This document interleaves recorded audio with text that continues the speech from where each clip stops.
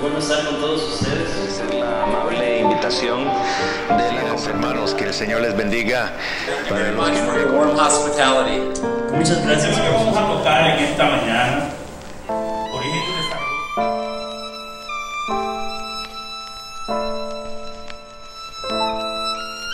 muerte.